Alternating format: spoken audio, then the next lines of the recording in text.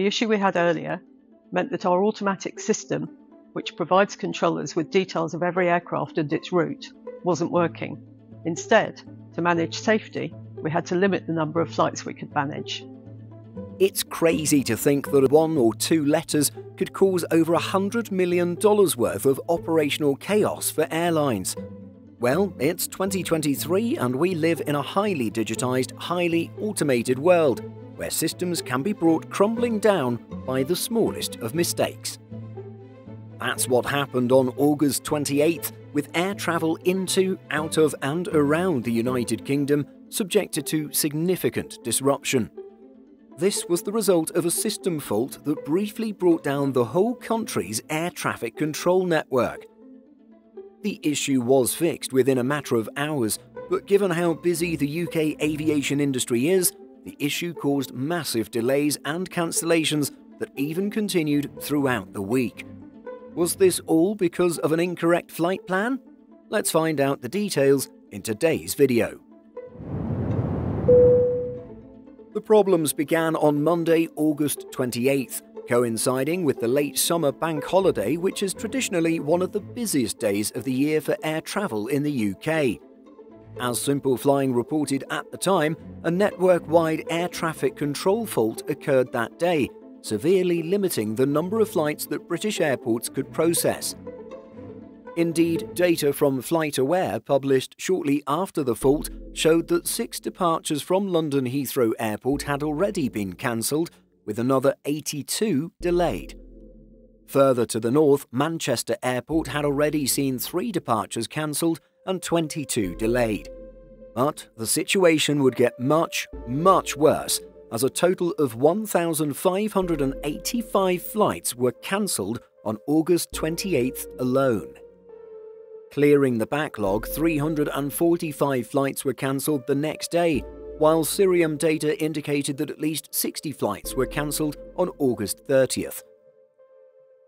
Several airlines, such as EasyJet, sent additional aircraft to select destinations with numerous stranded passengers, the budget carrier operated five repatriation flights to London Gatwick, with rescue flights operating from Palma and Faro on August 30th, Tenerife and Enfida on August 31st, and Rhodes on September 1st. At the same time, other carriers worked tirelessly to reroute stranded passengers while attempting to keep the operations afloat. This extensive disruption saw many passengers stranded and others scrambling to return home via alternative means. With the disruption being so widespread, many airlines and their customer service teams seem to have trouble taking care of their passengers. Many were forced to sleep on floors or makeshift beds at airports, or otherwise take long routes by land. As highlighted by The Independent, airlines were criticised for failing to book hotel rooms for passengers who were delayed overnight. Speaking to The Independent, an affected traveller stuck in France perfectly summarised the situation faced by many. It feels like there's been a lack of information for passengers, really. I understand that there's a lot of people affected across the continent. It feels like the weight of people affected has overloaded the system. We were told we would hear from somebody the following morning, and we still haven't heard from anyone. And frankly, we're not expecting at this stage to hear from anyone at all. I guess we'll be dealing with it once we get back to England. The day after the meltdown, on August 29th, Transport Secretary Mark Harper stated Airlines are clear about their responsibilities to their customers, and I stand ready to provide further appropriate support from the government should the industry request it. On that same day, with the specific source of the problem still unclear, reports began to emerge that an incorrectly filed flight plan might have triggered the meltdown.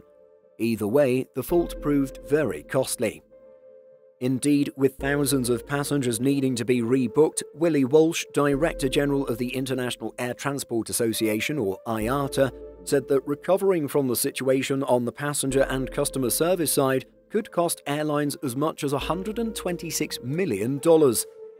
That's because these problems come at the expense of the airlines. In addition to the costs of rerouting passengers, the airlines must deal with an astronomical amount of refunds and expenses due to passengers for extended delays. Walsh shared his frustration with BBC Radio, saying, It's very unfair because the air traffic control system, which was at the heart of this failure, doesn't pay a single penny. But thankfully, as the week wore on, more and more passengers managed to get to where they needed to be, with almost all having reached their destination by the weekend.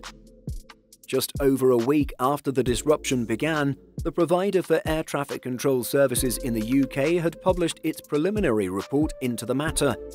The organisation, known as NATS, derives its name from National Air Traffic Control Services, or NATCS, though this was simplified to be just NATS in 1972. According to the company, the problems did indeed begin as a result of an issue with a flight plan filed in its system. Specifically, one of its flight plan processing subsystems failed when it encountered a plan that, quote, included two identically named but separate waypoint markers outside of UK airspace, the two identical waypoints in the problem flight plan were 4,000 nautical miles or 7,408 kilometers apart. However, they shared the exact same name. This critical exception prompted not only the main subsystem but also its backup to enter a failsafe mode, meaning that the plan could neither be accepted nor rejected by the system. This meant that a situation whereby incorrect safety critical information was passed on to air traffic controllers was avoided. However, the fact that the system and its backup were down meant that flight plans could no longer be processed automatically. This is what led to the significant operational disruption faced by airports, airlines, and their passengers.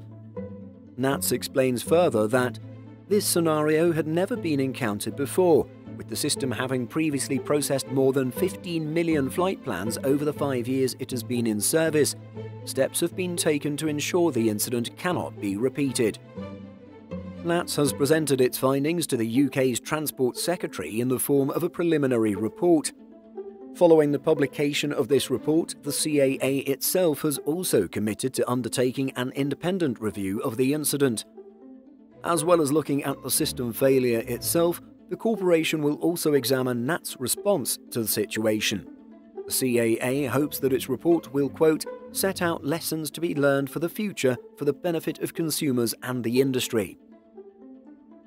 As highlighted by NATS, all airspace around the world is divided into Flight Information Regions, or FIRs.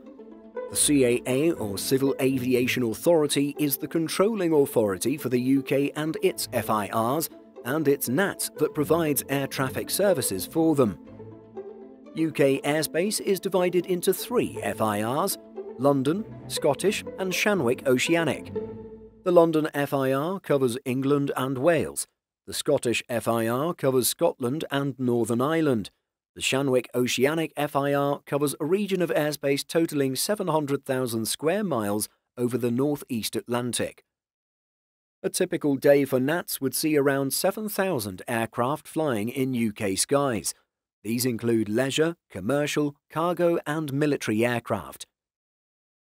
To our UK viewers and those who recently travelled to or from the UK, were you affected by this air travel chaos?